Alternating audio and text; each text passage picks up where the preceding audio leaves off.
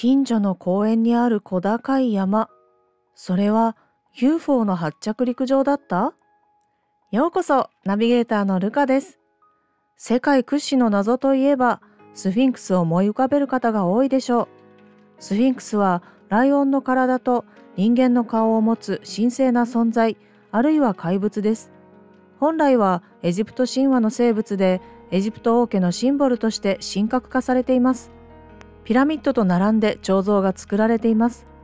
最も有名で大きなスフィンクス像は、古王国時代に作られたギザの大スフィンクスです。全長73メートル、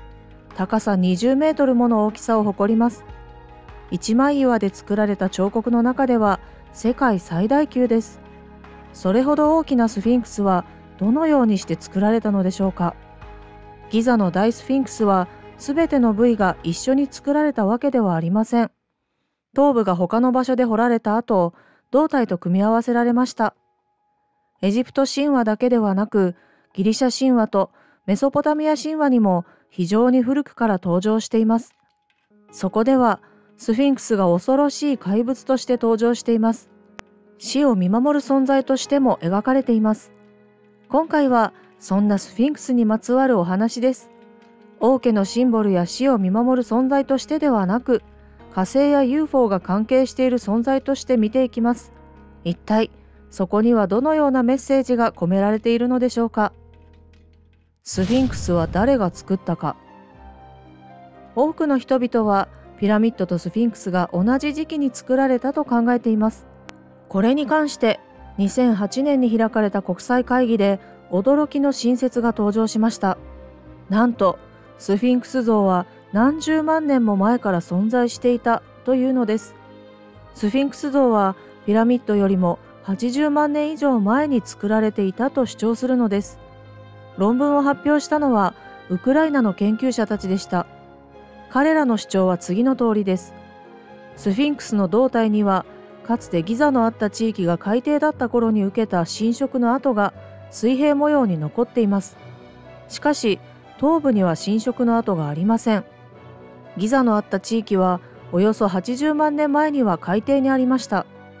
スフィンクスは砂漠の真ん中にあるのにどこに大量の水があるのでしょうか。これは地質学的に明らかにされています。研究者たちがギザの地質資料を調べたところ520万年から160万年前にナイル川流域に侵入した海水が徐々に浸水していき80万年前にはスフィンクスの最も高い位置にある侵食付近まで海水が上昇したのですそうなるとスフィンクスは80万年前よりも昔に作られていたことになります。ウクライナの研究者たちはこれまでの説ではスフィンクス像の頭部全面が水平に侵食されていないことを説明するのに不十分であると述べました。侵食を自然現象によるものであることを説明するためにはこれまでの考え方を真っ向から見直す必要があると言います。ですが人類史に詳しい方ならお気づきのはずです。80万年前、地球はどんな状況だったでしょうかちょうど猿人類から人類への進化が始まろうとしていた状況にありました。文明は愚か、人類さえ存在していなかったのです。スフィンクス像を作ったのは人類ではなかったのかもしれないと思われますね。それでは、スフィンクスは人類以外の生命体、例えば地球外生命体が作ったという可能性が浮かび上がります。ピラミッドとスフィンクスがエジプト文明よりも前に存在していたと言われることは昔からありました。ピラミッドについては、たとえエジプト文明が高度な技術を持っていたとしても、古代文明では建築することができないだろうと言われています。ピラミッドを作るには高度な天文学的知識が必要だからです。そのため、巨人か宇宙人が関わっていたのだろうと噂されています。宇宙人であれば豊かな天文学的知識を持っていたでしょうから、古代エジプト文明が宇宙人とつながっていたのではないかと考える学者は世界中にいて、彼らはその裏付けとなる証拠を見つけています。古代エジプト文明とつながっていたと思われる宇宙人は火星人であると言われています。それは一体どういうことでしょうか？火星で発見された大パーツ。1976年 NASA のバイキング1号が一葉の写真を撮影しました。その写真にはある奇妙な物体が写っていました。その物体は火星の人面岩と呼ばれています。人面岩と呼ばれているのはそれがギザのスフィンクスの顔に似ているからです。そのため宇宙の大パーツは火星のスフィンクスとも呼ばれています。UFO 研究者は火星の人面岩とスフィンクスが関連していると考えており大学の研究者たちもこれに注目しています。テネシー大学宇宙研究所の元物理学教授ホレイス・クレーター氏は2016年に論文を専門誌に発表しました。火星の人面岩はシドニアの地形に位置しています。クレーター氏はそれが人工物かどうかの検証を再度行いました。そして知的生命体が作ったという結論を出しました。またデイビッド・パーシー氏とマリー・ベネット氏は火星の人面岩が対照的であることに着目しました。画像を分析すると影になっている顔の反面にも顔のパーツが対照的に配置されていることが分かりました。漁師は次のように述べています。火星の人面岩が実はスフィンクスである可能性があります。どちらも人間とライオンがモチーフになっています。我々はこれら2つが同一の祖先を持つものだと考えます。神話においてスフィンクスは人間ではない姿をした神として描かれており人類を創造したとされています。このことからも火星のスフィンクスが偶然に形成されたとは言えなくなるでしょう。火星とスフィンクスには深い関係性があるのです。火星人はなぜエジプトをスフィンクスの建築場所として選んだのでしょうか。エジプトの砂漠を思い浮かべてみましょう。あの荒涼とした砂漠は火星に広がる赤い大地と似ているように見えないでしょうか。火星人は母なる火星を思い起こさせるとしてエジプトを移住先に選んだのかもしれません。火星人の訪れたエジプトは歴史に名を残した通り文明を高度に発展させました。宇宙人なくして古代エジプト文明の発展はありえなかったでしょう。スフィンクスが建造されてから何十万年と時は流れこの地は海底へと没しました。しかし人間が火星人の文明を受け継ぎ太古の昔にスフィンクスがあった場所にピラミッドを建設しました。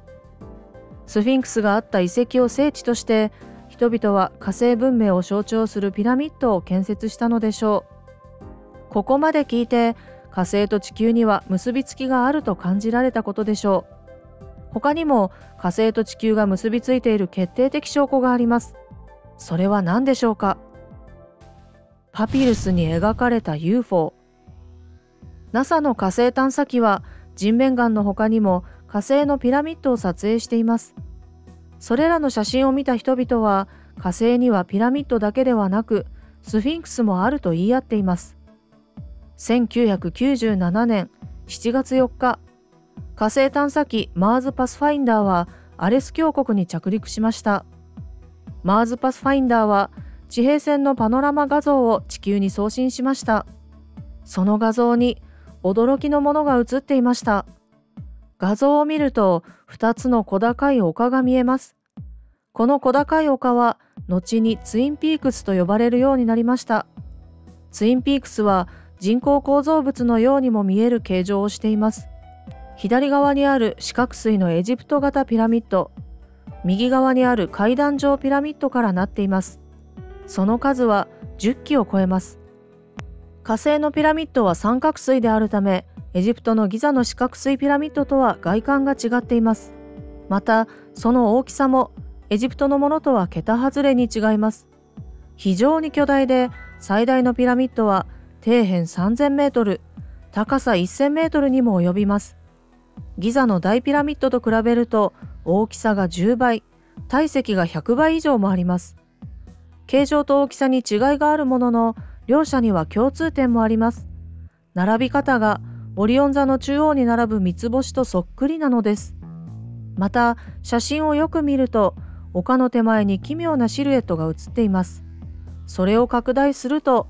びっくりしてしまう事実があります。なんと、それはエジプトのスフィンクスとよく似ているのですスフィンクスらしき物体の足元には神殿のように見える建造物があります。スフィンクスの意味から考えるとかつてこの場所では火星の神を祀っていたのかもしれません。古代エジプト文明は本当に火星人が持ち込んだ文明なのかもしれません。地球においても火星とエジプトとのつながりを称する資料が見つかっています。エジプト学の専門家アマンダ・アリス・マラベリア氏が見つけました。それは古代エジプトで3000年前に描かれたパピルス製絵画です。スフィンクスの背中を見てください。そこには UFO が着陸する様子が描かれています。UFO はドーム状の円盤型でまばゆい光を発しています。機体の下部からは着陸時に用いる足のような部分が出ています。ピラミッドとスフィンクスは UFO が着陸するための装置としての役割を果たしていたのでしょうか。ピラミッドとスフィンクスが示唆していること。人類が存在しなかったはずの80万年以上前に作られ同じ形状で同じ並び方をするピラミッドが火星にもあることからわかること。それはスフィンクスの建造に火星人が関わっていたという可能性でしょう。人類が築いたと思われている地球文明が実は火星に由来していることなのでしょう。謎を解くための鍵は何でしょうか？別の場所で作られたとされるスフィンクスの頭部に隠されているのでしょうか？私たちがその謎を明かすのを待っているかのようにピラミッドとスフィンクスは静かにメッセージを発信しています。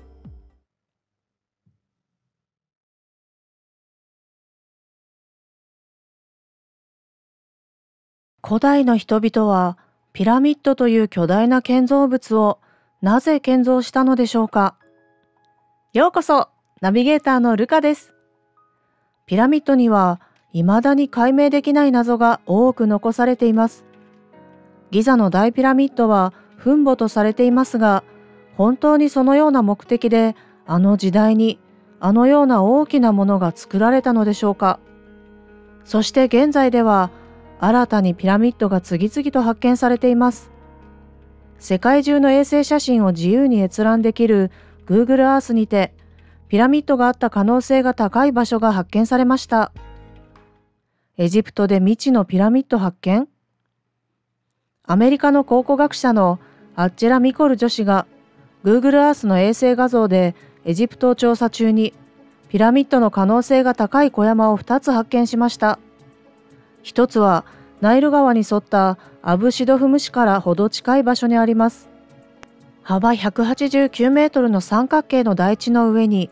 幅約100メートルの小山がそびえています。この台地がピラミッドの一部だとするならば、現在世界最大を誇っているギザのクフ王の大ピラミッドの3倍もの規模になります。2つ目は1つ目の小山から北へ145キロの地点にあり、43メートルの基礎を持つ四角形の台地の上に立っています。このピラミッドらしき小山の近くには3つの小塚が並んでいます。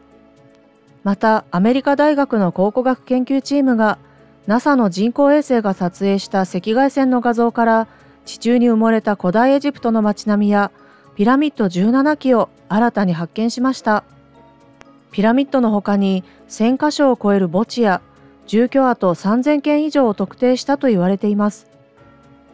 メソアメリカ最大級の巨大ピラミッドメキシコのチアパス州トニナのアクロポリスで国立人類学歴史学研究所の調査チームが巨大ピラミッドを発見しました。発見されたピラミッドは高さ75メートルで、テオティワカンにある太陽のピラミッドの65メートルを超える大きさです。1700年前のものとみられています。発見されたピラミッドの北東部カラハ、グアテマラのティカルやエル・ミラドールといったマヤ文明の遺跡にも匹敵するメソアメリカ最大級の建築物が確認されたのです。このピラミッドの特徴は7階層に分かれていることです。それぞれ王宮、寺院、住居、社会、政治、経済、宗教という様々な機能を兼ね備えています。これはマヤ文明の遺跡ではあまり見ることのない特徴です。構造の面積は10万から12万平方メートルと判断されていて高台の上に築かれておりそこからは道路が伸びています研究チームを率いたエミリアーノ氏は驚くべきことにピラミッドのほとんどがスペイン統治以前の義士の手によるものでしたつまり天然ではなく人工的なものです。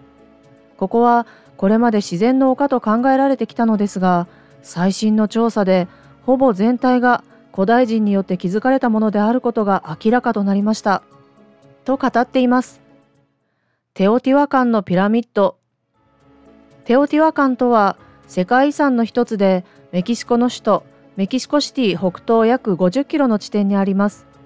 紀元前2世紀から6世紀まで繁栄したとされているテオティワカン文明の中心となった巨大な宗教都市遺跡で当時のアメリカ大陸では最大の規模を誇っていてメソアメリカの中心的都市として機能していました。しかし人口の集中に伴って7世紀に入ると急に衰退しやがて滅びたとされています。テオティワカンは太陽のピラミッド月のピラミッドそして南北5キロにわたる死者の大通りという道が起点となり各施設は配置されています。この都市はテオティワカン人の宇宙観や宗教観を表す極めて計画的に設計された都市です。この都市遺跡を象徴する太陽のピラミッドは高さ75メートル四方225メートルでテオティワカン最大の建造物で200年頃に建造されたと考えられています。地下のトンネル太陽のピラミッドに次いで大きいとされる月のピラミッドに考古学者らが秘密のトンネルを発見しました。トンネルはトルテカ文明において死後の世界への通路を表現したものである可能性が考えられます。トルテカ文明とはテオティワカン崩壊後チチカカ侵入前までの時期にメキシコ中央高原に建設された都市トゥーラが持っていたと考えられる文明です。この地下のトンネルはピラミッド周辺の電気抵抗を調査することでメキシコ国立人類歴史学研究所の考古学者チームが保護活動の際に偶然発見されました。トンネルは地中およそ8メートルの地点に存在しています。トンネルは月の広場と呼ばれている広場の南側に位置していて専門家は東側にもう一つの入り口が存在すると予測しています。月のピラミッドは埋葬場で発見された遺体などを分析したことでかつて人を生贄として捧げるなどの儀式に使われていたと考えられています。そのために死のピラミッドと呼ばれることもあります。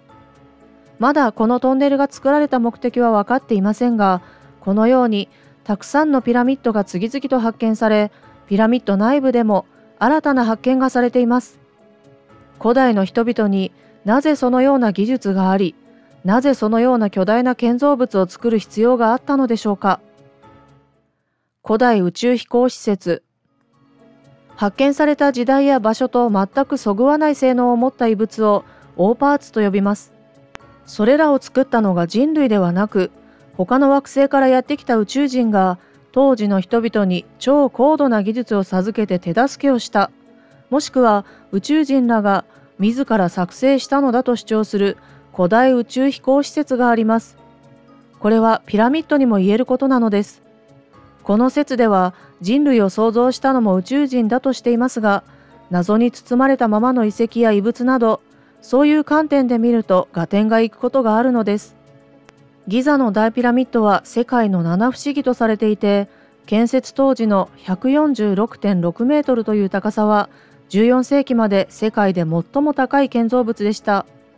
長さと高さが黄金比になっていることや非常に誤差の少ない積雪技術があること。積み上げられた巨石は230万にも及び石の重さはタイプにより2から30トンに分かれていますが中には50トンを超える巨石もあります。またよく観察するとそのフォルムは四面体ではなく八面体であることも大きな謎を呼んでいます。四面体に見える一面は中央に向かってわずかな角度でくぼんでいて春分の日と秋分の日に大ピラミッドが八面体であることがわかる陰影が刻まれるのです。さらに大ピラミッドの四辺はほぼ正確に東西南北に面しています。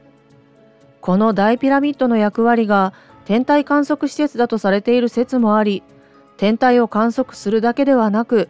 天イコール地球外生命体とのコミュニケーションを図るための役割を担っていたというのですまた宇宙船を変化させる力を持つともされていて大ピラミッドの形は地球と共鳴するように作られているとされています。この説では大ピラミッドはエネルギーを集中させる巨大なプリズムのようなもので星からの光を集めて変化させるトランスミッターのようなものだといい。天からのエネルギーを受け常温核融合反応に似た反応を起こすと言われています。テオティワカンにある太陽のピラミッドと月のピラミッドにも宇宙飛行施設は存在します。この2つのピラミッドはそれぞれ太陽系の惑星の位置を意識して建設されていると言われています。太陽と月のピラミッドの石は4から10トンの非常に硬い安山岩だというのに石は滑らかな表面や鋭利な縁があり簡易的な石器などではこれほどの石を正確に鋭利に削ることはできないというのです。さらにこの石の出所も分かっていないそうです。また水銀やマイカ金色の金属で覆われた球体が発見されています。この金色の球体の中には地球の他の物質とは共通点のないこれまでに見たことのない物質が含まれていました。またマイカとは雲母のことで電気絶縁性や耐熱性に優れているもので現在は電子製品や宇宙工学において断熱材として使われます。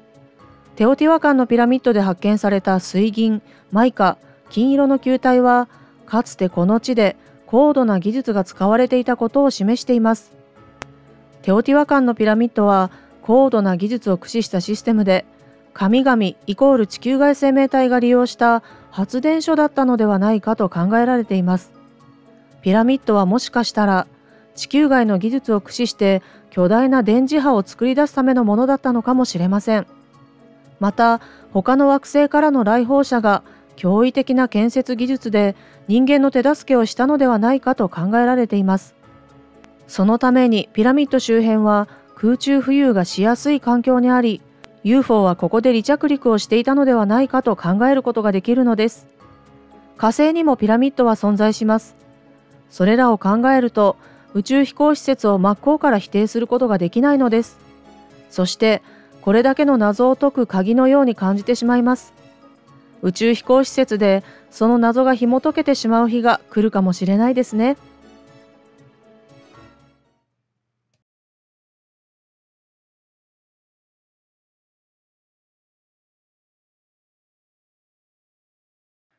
エジプト・ギザのスフィンクスは多くの謎を抱えたまま何年もそこに存在しています古代エジプトの芸術品は左右対称で2つずつ存在しました。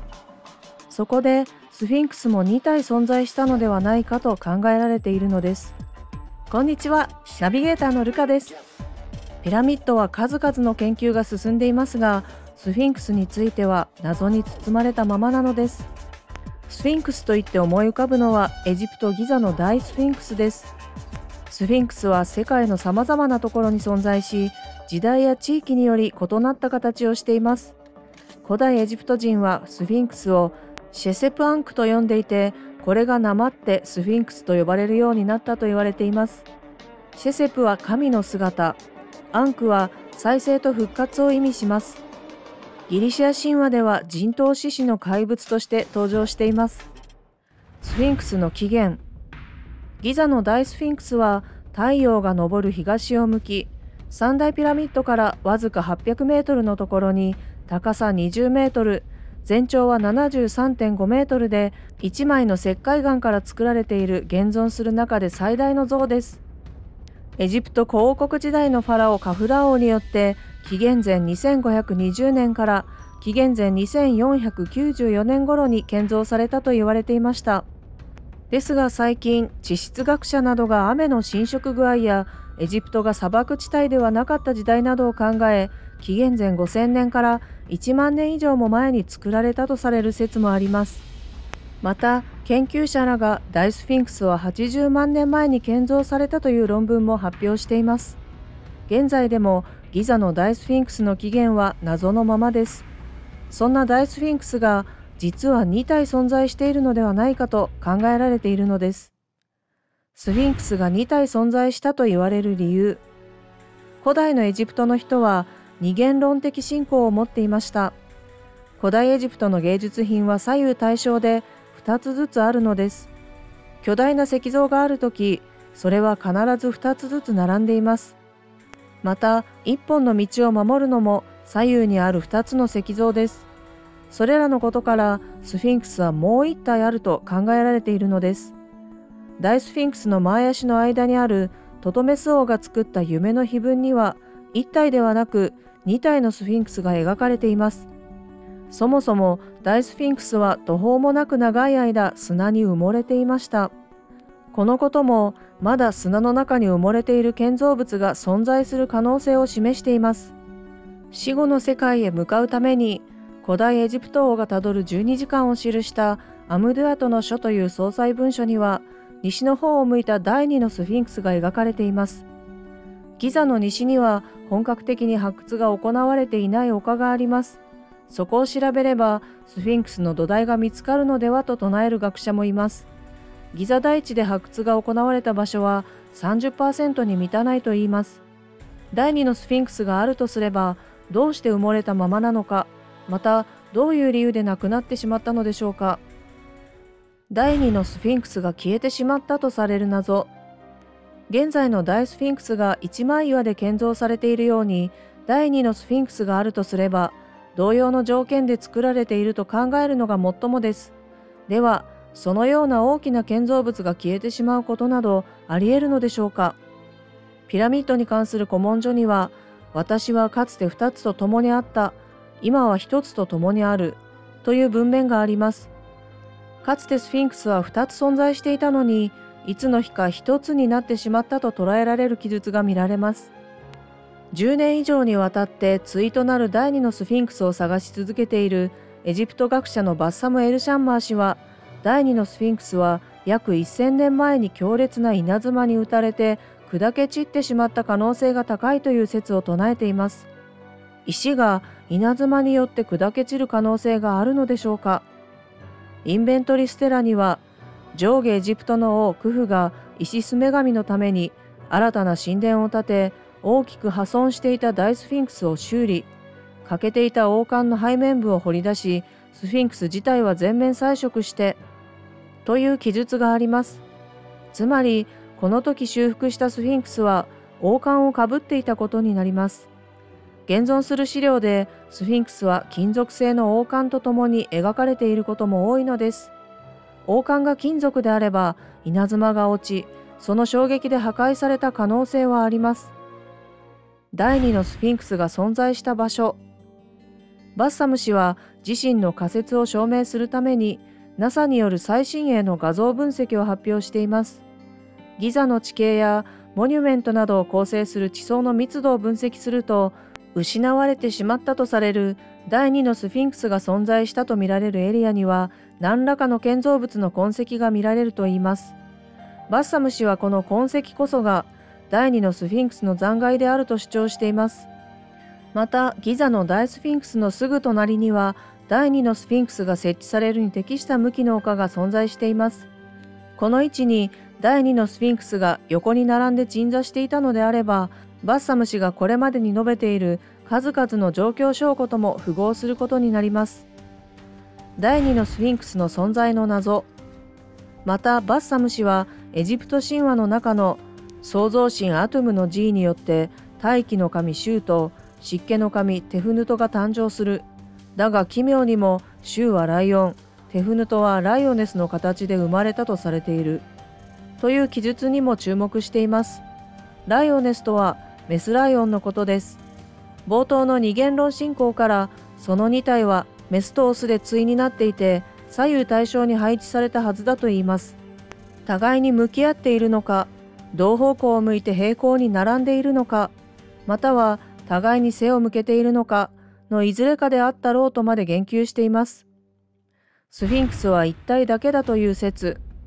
大スフィンクスがあれだけの形で残っているために一体だけではないかと考えられる説があります。現在のスフィンクスの顔が後に変えられ、王の顔を模造したとするのであれば2つ存在するのはおかしいのです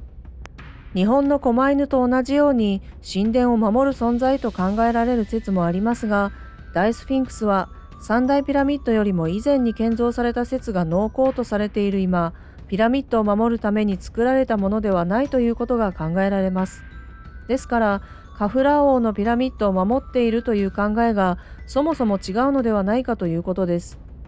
ギザの三大ピラミッドの配置は紀元前1万500年のオリオン座の3世の位置を正確に表していると言われています。現在カフラー王のピラミッドの参道に大スフィンクスがいるものだとして考えていますがピラミッドはオリオン座の位置を基準に作られているとすれば大スフィンクス自体は関係がないものとされます。また大スフィンクスを守るように建造された壁が見つかっています。ピラミッドを守るスフィンクスを守る壁などというのはおかしいように思えます。日本の狛犬を守っている壁はありませんよね。大スフィンクスのことを調べているとやはり様々な説が出てきますし様々なことが考えられます。皆が探し求めている幻の第二のスフィンクスは存在するのでしょうか？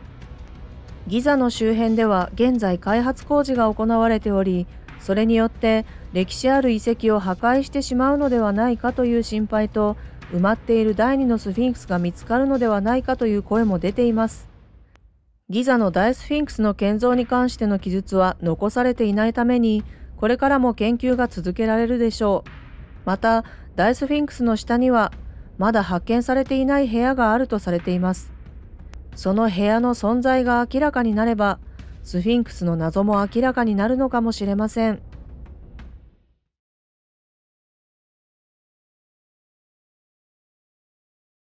昔々、おじいさんは山へ芝刈りに、というのは表向きで山へピラミッドを発掘しに行きました。ようこそ、ナビゲーターのルカです。とても有名で人気なのにイメージばかりが先走りしてその起源や実態は知られていないということはよくあります。例えばエジプトのピラミッド。皆さんは世界最古のピラミッドはどこかと聞かれれば誰の王が作ったピラミッドを答えますか？うーん、クフ王？カフラ王？メンカウラ王？思い浮かべるのはすべてギザにある三大ピラミッドですね。というのはピラミッドで有名なのはギザの大ピラミッドだからです。しかし、世界最古のピラミッドはジェセル王のピラミッドなのです。紀元前2668年から紀元前2649年に在位した古代エジプト第三王朝第二代ファラオのジェセルによって建設されました。ギザの三大ピラミッドはというと、今から約4500年前の紀元前2500年頃に建設されました。エジプトを象徴するほど有名である割には、その内部だけではなく、建造方法が明らかになっていません。考古学の世界では数々の仮説が提唱されていますが、その数と同じくらい、あるいはそれ以上の噂が広がっています。ピラミッドは浮遊していたとか、超古代文明の英知を記したメモリー装置がピラミッドに隠されているとか、オリオン座の三つ星を思わせるようなピラミッドのミステリアスな姿がロマンをかきたてるのでしょう。今回はそんなエジプトのピラミッドについてではなく新たに発見されたピラミッドをご紹介していきます。人類史を覆す巨大ピラミッド。東ヨーロッパのバルカン半島北西部にボスニア・ヘルツェゴビナという共和制国家があります。2005年にはその国で5基のピラミッドが発見されたという報告がありました。発見された場所はサラエボ北西部にあるビソチサ山です。山がピラミッドなの？と驚かれるかもしれません。ビソチサ山の麓には人口1万7000人の小さな町ビソコがありました。ビソコの住民たちもまさか山がピラミッドであるとは気づかなかったそうです。誰も気づかなかったことに気づいた報告者の名前は、ボスニア人考古学者、セミール・オスマナジック。彼は数十年間もピラミッドを調査してきた経験があります。世界各地に点在するピラミッドを調査する中で、中国やメキシコ、グアテマラやエルサルバドルには今もなお発掘されていないピラミッドがあると考えていますそうしたピラミッドは土と樹木に覆われているので見つかっていないそうなのです。彼がボスニアのビソチサ山を初めて登ったのは2005年のことでした。ビソチサ山は当然のことながら樹木で覆われています。ピラミッドは土と樹木に覆われていることを知っていた彼はビソチサ山をよく観察しました。すると頂上からはっきりとした稜線が伸びていて斜面が三角形に形成されていて正確に東西南北を向いていることが分かりました。このことからボスニア・ヘルツェゴビナの自然丘陵は山ではなく地球上で最も大きなピラミッドである。ことを見抜きました。そこで彼はビソチサ山を太陽のピラミッドと名付けました。その上でボスニア・ヘルツェゴビナのピラミッドこそが世界最大かつ最古のピラミッドだと主張しているのです。世界最大のピラミッドであるという根拠は何でしょうか？太陽のピラミッドを樹木を取り除いた形でイメージ化すると高さが220メートルあります。これは高さ146.6メートルあるギザの大ピラミッドを優に超えています。それでは世界最古のピラミッドであるという根拠は何でしょうか？アグロペトロジー国立研究所がピラミッドの表面を覆っている土を調べました。その結果、土が約1万2000年から3万年前のものであることが分かりました。ということは、太陽のピラミッドはそれ以前に建造された可能性が高いですね。これまでの知識で言えば、世界最古のピラミッドはジェセル王のピラミッドだったはずですね。そのため、オスマナジックの主張は、考古学者たちからも非難を浴びることになり、ボスニア・ヘルツェゴビナのピラミッドもピラミッドだと認められていません。けれども、発見者のオスマナジックとボスニア当局は懸命な調査を続けています。努力の末にピラミッドであることに間違いないことを証明することができました。オスマナジックは太陽のピラミッド以外のピラミッドも発見しています。ビソチサ山の近くにある2つの山々を人工衛星と航空写真によって特定したところ、ピラミッドであることが確認されました。オスマナジックはそれぞれ月のピラミッド、竜のピラミッドと名付けました。このうち月のピラミッドはプルジェセビカ山という山で3つの三角面と1つの平らな頂点を持つ階段ピラミッドであると主張されています。月のピラミッドは夏季の日没前になると素晴らしい光景を見せてくれます。なんと太陽のピラミッドの影に完璧に隠れるのです。このことからこれら2つのピラミッドは天文学と数学の知識を利用して築かれたものであると考えられています。ピラミッドはまだまだ発見されました。オスマナジックのレポートには地球のピラミッドと愛のピラミッドの存在が記されています。ビソチサ山の周辺一帯にはこれまでのところ5基のピラミッドが確認されているようですね。これはビソコの町がピラミッドの谷と呼ばれているゆえんになっています。ピラミッドの存在はその地域で強い権力者が人々を統治していたことを示唆します。5基のピラミッドが本物であるならば、ボスニア・ヘルツェゴビナにはエジプトをしのぐほどの都市社会が今から1万2000年以上もの昔に栄えていたことになります。この可能性は人類史を根底から書き換えるほど重要なことです。発見されたエネルギービーム。オスマナジックたちは太陽のピラミッドを覆っている四角形のコンクリートタイルを調べました。コンクリートタイルの高度や吸収度を調査したところ、現代のコンクリートタイルよりも優れた材質でできていることが分かりました。ボスニア・ヘルツェゴビナでのピラミッド発掘調査が進むにつれて、その周辺からは遺跡が次々と発見されています。その一つが石のタイルです。石のタイルが道路なのか、それとも建造物の敷地なのかは分かりません。どちらにせよ、ピラミッドを建造した都市空間の一部であると見られています。ピラミッドは地下にも続いています。地下空間を整備するほどの高度な建築技術が発展していたのですね地下には5基のピラミッドを結ぶラブネという迷路のような地下通路がありますラブネは太陽のピラミッドを建造するために岩を採掘した場所の跡だと言われています。そういうわけで地下空間からは謎の大パーツも発見されたそうです。その一つが銅製の彫刻です。銅製と言われていますがまるで巨大な岩のように見えます。何を表している彫刻なのかは不明です。とはいえ古代遺跡からの発見物としては世界最大だと言われています。どうしてそれほどのものが地下にあるのかは分かりませんがボスニア・ヘルツェゴビナのピラミッドには世界最大級の遺跡が数多く残されているのですね。彫刻の他にも円形の石板が発見されています。実用品なのでしょうか？それとも宗教的な儀式で使われたのでしょうか？球体の物体も発見されました。その形状から地球あるいは惑星の模型のようだと言われています。天文学の研究に用いられていたのでしょうか。宇宙人の存在も知っていたかもしれません。一番の謎が太陽のピラミッドの頂点から放たれているエネルギービームです。物理学者のチームが確認しました。エネルギービームの周波数は 28kHz 半径4.5メートルの範囲に上空へ向けて継続的に放射されているそうです。なぜかはわかりませんが、ピラミッドから離れれば離れるほどその強度は増すと言います。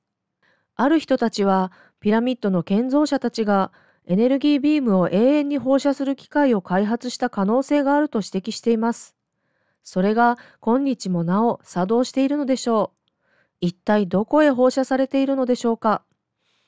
ピラミッド周辺の遺跡からは地球か他の惑星の模型が発見されましたね。もしかしたら宇宙と通信しているのかもしれません。2010年にはピラミッド周辺にある地下空間から小さな青い沼と3つの部屋が発見されました。これらの部屋からは大量のイオンが発せられており、その量は実に通常の43倍にも及びました。このことからヒーリングルームのような空間ではないかと言われています。エネルギービームを発したり、イオンを放出したりと、高度な文明を持っていた可能性が高いボスニア・ヘルツェゴビナ。しかし、先ほども述べた通り、考古学会から批判されているのが現状です。7人の主要なヨーロッパの考古学者たちは、EAA 宣言、ヨーロッパ考古学者協会宣言を発表しました。彼らは、ビソコ近辺で行われている、いわゆるピラミッドプロジェクトに、ボスニア当局が支援を続けていることに対し、強く抗議したい。この計画は、ひどいいたずらであり、本当の科学界においてあってはならないものである。とコメントしています。ひどいいたずらとは、何とも痛烈ですね。ここまでの批判を受ける理由は、ボスニア・ヘルツェゴビナのピラミッドが世界最古のピラミッドだと考えられているからでしょう。もしこれが事実であれば、人類史は間違いなく覆られますし、エジプトのピラミッドの権威が地に落ちることになります。また、オスマナジックの調査方法にも疑念を持たれているそうです。オスマナジックは丘の一つを改造して階段ピラミッドのように見せていると言われています。とはいえ、古代エジプトのピラミッドは5000年ほど前に建造されたという学説もあくまで推測に過ぎません。古代ギリシアに活躍したヘロドトス、歴史をはじめとする文書や発掘調査に頼る部分が多いので、科学的な調査が進んでいるわけではありません。そのため、教科書に書かれている内容が現段階では正しいとされていても、明日には間違っていたことがわかることもあるのです。サイエンスの分野で言えば、2006年まで太陽系第9惑星とされていた冥王星が例として挙げられるでしょう。ですから、歴史叙述もある意味では不確定要素だらけなのです。考えてみれば、地球の歴史は46億年です。46億年もの歴史を正確に叙述することは不可能に近いと言えるかもしれませんね。私たちホモ・サピエンスの歴史でさえまだまだわからないことがたくさんあります。エジプト文明よりも前に起こっていたとされる超古代文明のことがわからないのも当然だと言えるでしょう。ボスニア・ヘルツェゴビナのピラミッドに関する秘密が解き明かされるのは先のことになるとは思いますが、今後の研究に期待したいですね。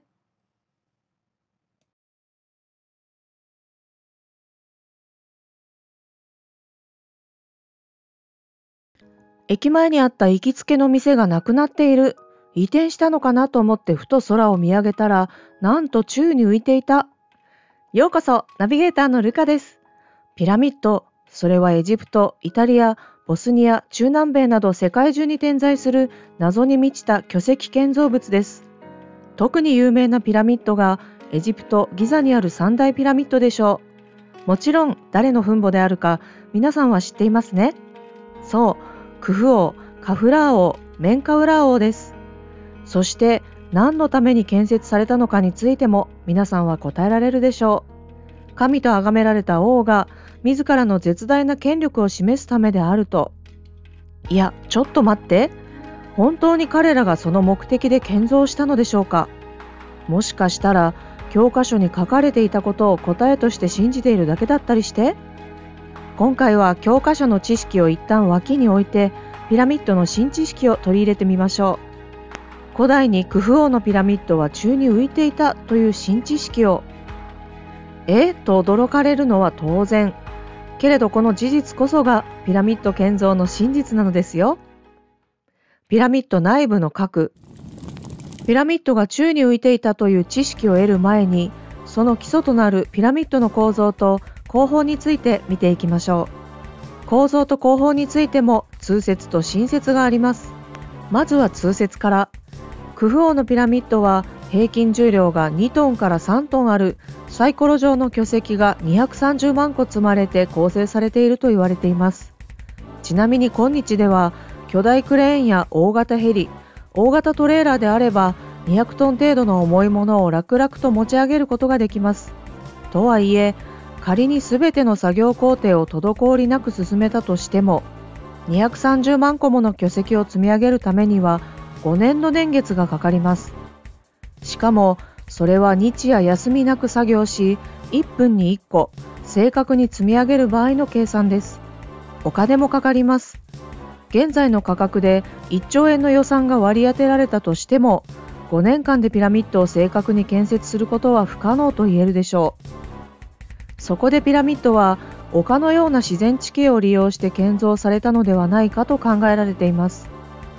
ギザの大ピラミッドの下に丘があることは多くの学者や専門家が同意しています。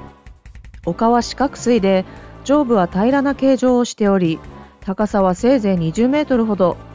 ピラミッド内部にある女王の間と呼ばれる部屋までが丘なのだろうと考えられてきました。クフ王のピラミッドの高さは現在138.74メートルありますが建造された当初は146.94メートルでした。すると丘は大ピラミッドの高さ7分の1にあたることになります。ピラミッドは20年前後かけて建造されたと言われています。この通説ではピラミッド建造に費やした20年という年月の真偽を疑ってしまいます。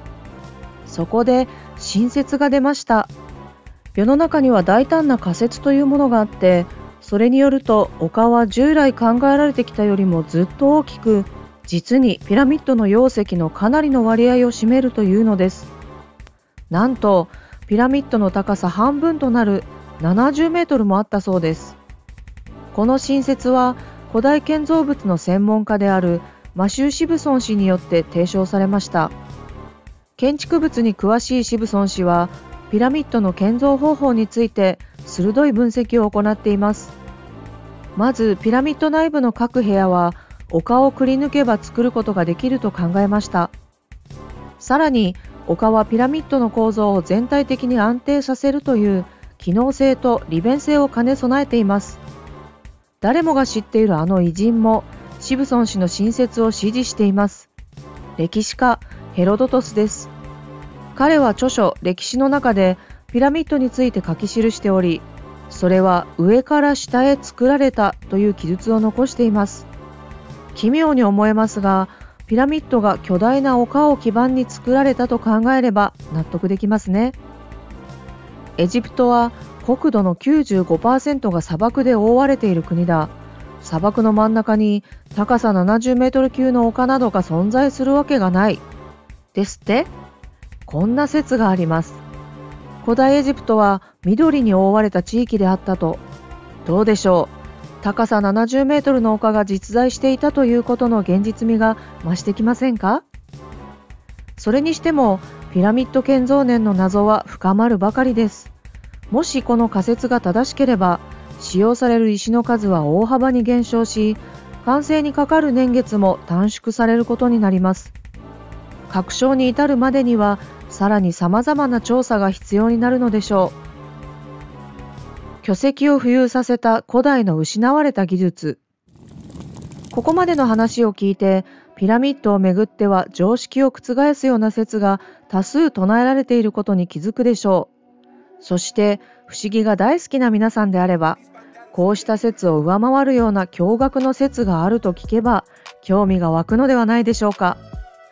それは、古代の巨石文化時代には、古代人が音で巨石を浮かせて、巨大な建造物を作り上げていたという説。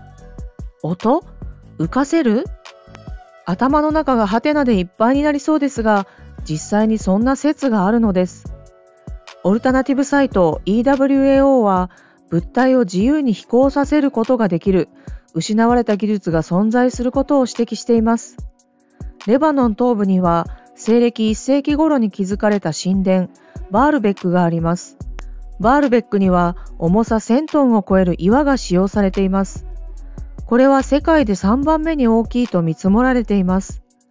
クフ王のピラミッドでさえ総重量は600トンから700トンと言われているのでどれほど重いかということは想像に難くないでしょう巨石文化は世界各地に点在しているので古代人にとって岩石が身近な存在であったことはわかります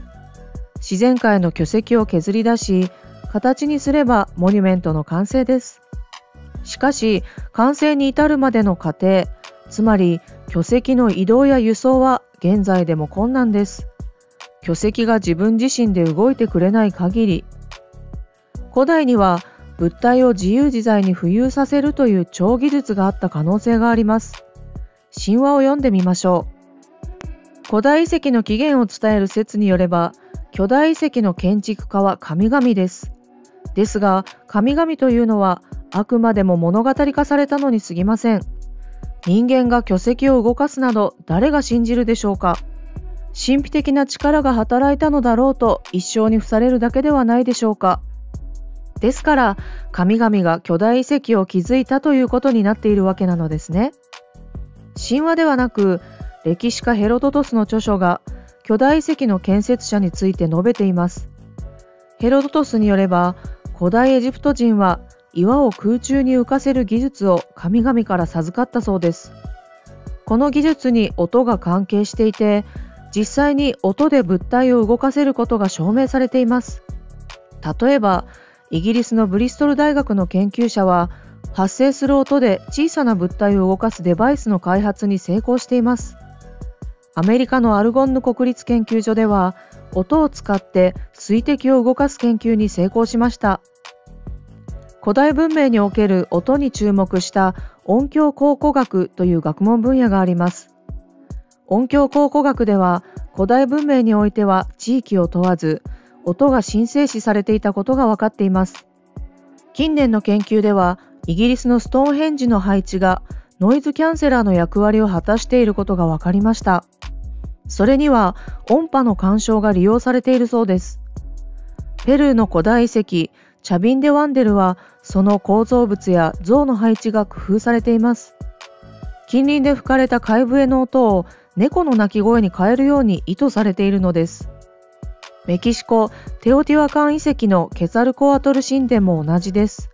反射した音が神の使いである鳥、ケツァールの鳴き声を発生させる作りになっています。マルタ島では2500年前の遺跡、ハル・サフリエニの地下墳墓が1902年に発見されました。地下墳墓は宗教的な儀式の場としても用いられていたようです。音響上の特殊な仕掛けがあり男性の声が 70Hz から 114Hz に変換され打楽器の音が不思議な共鳴を起こしますこの帯域の音は人間の脳活動に強い影響を及ぼします。